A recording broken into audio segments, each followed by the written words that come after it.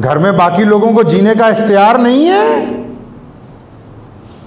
घर में बच्चों को, बेटियों को, माओ को, बहनों को जीने का इख्तियार नहीं है? अगर आप चार पैसे कमा के ले जा रहे हैं तो बहुत बड़े आप चौधरी बन गए घर के। दूसरों के जज्बात का कभी ख्याल ही नहीं रखा। अल्लाह अकबर। दुनिया के तमाम मजाहब से इस्लाम मुख्तलिफ़ है। इस्लाम ने इबादत का तरीका नहीं दिया है। इस्लाम ने सजदा करने का तरीका नहीं दिया। इस्लाम ने सजदे से पहले पाकिजगी दी है। इस्लाम ने इबादत से पहले ईमानदारी अता की है। इस्लाम का इबादत का तरीका माशरे से शुरू होता है। हमारी इबादत का तरीका माँ बाप की इतात से शुरू होता है। हमारी इबादत का तरीका दूसरों के साथ मोहब्बत से शुरू होता है। इस्लाम की इबादत का तरीका मोहम्मद रसुल्ला से वफादारी से शुरू होता है। अगर वो वफादारी कामिल नहीं होगी तो ये इबादत कामिल नहीं हो सकती है। अहमदाबाद में एक आयशा नाम की लड़की ने खुदकुशी कर ली। अब जितने आधे पढ़े लिखे हैं, अल्लाह माफ़ फरमाए, मैं कुछ नहीं कहता, चलो नाम नहीं लेता। दे फतवे पे फतवा आ रहा फेसबुक के ऊपर कि जी जिसने खुदकुशी कर ली, इसके लिए दुआ नहीं हो सकती, ये हराम है। अल्लाह ताला ने कुरान पाक में कहा कि खुदकुशी करना हराम है। लेकिन साथ में फरमाया कि हम तुम पर रहम करेंगे। अगर तुम हमारा कहना मान लो। मुफ्ती रशीद अहमद साहब, लुधियानवी मुफ्ती आज़म ने लिखा फतावा, हसनुल फतावा में कि जो बंदा खुदकुशी कर लेता है, कौन कहता है कि उसकी मगफरत की दुआ नहीं हो सकती? क्योंकि वो हजू वसल्लम का उम्मती नहीं है। ये कहाँ लिखा है? एक साहब के भाई का बहुत लंबी बीमारी के दौरान उसने खुदकुशी कर ली। अब उनके घर वाले रो पीट रहे हैं और जितने कम पढ़े लिखे आजकल जो फार्मी अंडे हैं, क्योंकि जिसको कपड़ा सिलवाना है तो बढ़िया टेलर चाहिए, लेकिन मसला पूछना है तो कोई भी रास्ते हुए चलता बता दे। कि नहीं जी, नहीं, ये तो हराम हो गया। खुदकुशी करना हराम है, लेकिन खुदकुशी के बाद उनके घर वालों को दिलासा देना तो हराम नहीं है। जिसने गलती कर ली, उसके लिए मगफरत की दुआ करना तो हराम नहीं है। और फिर जो लोग ये कह रहे हैं कि जी, दहेज की वजह से खुदकुशी हो गई, क्या कभी ये दोनों कानों और आँखों का सही इस्तेमाल किया है?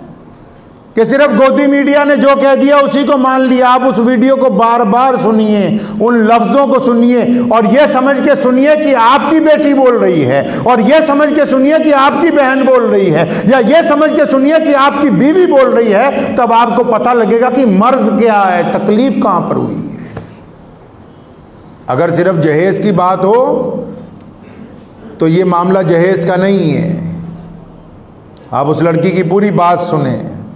उसने कहा कि एक तरफा मोहब्बत नहीं होनी चाहिए। हजूर अक्रम वसल्लम को हज़रत अबू बकर और हज़रत उमर रजील्ला दोनों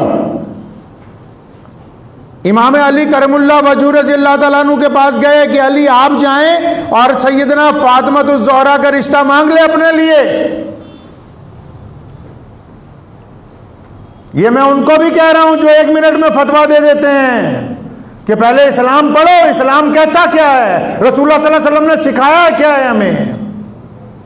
ये दोनों जलीलुल कदर साहबा जो वसल्लम के दाएँ बाएँ आज भी मौजूद है, जो अशरा मुबशरा में से हैं, जो मुसलमानों के खलीफा हैं, जो अमीरुल मोमिनीन हैं, जिनको मोहम्मद रसुल्ला ने अपना दोस्त कहा है बार बार अब दोनों ने हज़रत अली से कहा कि, अली, आप जाओ सैदा फातिमा का रिश्ता मांग लो मोहम्मद रसुल्ला से। अली रज़ी तु शर्माते हुए गए, और जब रिश्ता मांगा ना तो अलैहि वसल्लम ने क्या कहा? जबकि रसूलुल्लाह सल्लल्लाहु अलैहि वसल्लम खुद चाहते हैं कि मैं रिश्ता अगर अपनी बेटी का करूँगा तो अली से करूँगा। रसूल्ला भी चाहते हैं, अल्लाह की रजा भी शामिल है, लेकिन क्या फरमाया अली, रुक जाओ, पहले मैं फातिमा से पूछूँगा अपनी बेटी से।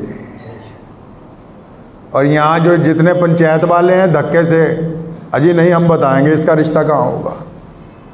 एक साहब आए मेरे पास, रोने लगे कह जी, मेरे बड़े भाई का इंतकाल हो गया, मेरी बीस साल बड़ी भाभी है, अब ये धक्के से पंचायत वाले कह रहे कि नहीं, तेरा निकाह इसी से होगा। हजूर सल्लम ने क्या कहा? फरमाया, मैं पहले अपनी बिटिया से पूछूँगा हमें सिखाना था दुनिया के लोगों को कि जब बेटी का रिश्ता करना है, बेटे का रिश्ता करना है, पहले उनसे तो पूछ लो भी, तुम राज़ी हो? तुम्हारी तबीयत राज़ी है? जिन्होंने ज़िंदगी इकट्ठे गुजारनी है, वो राज़ी है कि सिर्फ़ तुम्हारी चौधराहट देखी जाएगी, सिर्फ़ तुम्हारी पगड़ियाँ तय करेंगी कि कौन किसके साथ ज़िंदगी गुजारेगा? ये मोहम्मद रसुल्ला ने नहीं सिखाया है हमें और मैं बार बार कहा करता हूँ, वो उसने इसलिए, उस लड़की ने आत्महत्या नहीं कर ली, इसलिए खुदकुशी नहीं कर ली कि बार बार जहेज मांगा जा रहा था। इसलिए कर ली कि घर में रहने वालों के रवैये अच्छे नहीं हैं। और यार, हम लोगों के लिए अच्छे हैं, अपनी बीवी के लिए अच्छे नहीं। हम लोगों के लिए अच्छे हैं, अपनी माँ के लिए अच्छे नहीं।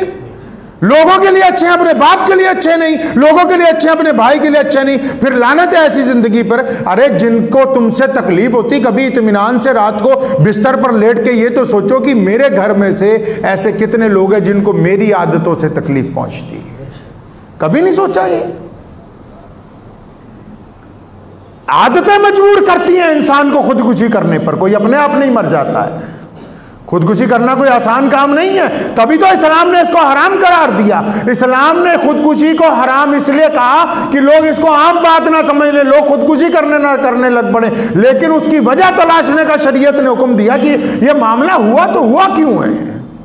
सिर्फ़ ये कह के पल्ला झाड़ने के लिए जहेज का मसला जहेज का नहीं मसला घर वालों के रवैये का मसला है, शौहर के रवैये का मसला है, सास के रवैये का मसला है, घर में नंदों के रवैये का मसला है। क्या आप कभी ये सोचते नहीं इतमान से कि यार हमारे रवैये से कौन सा ऐसा बंदा जिसमें घर को तकलीफ़ हो रही है?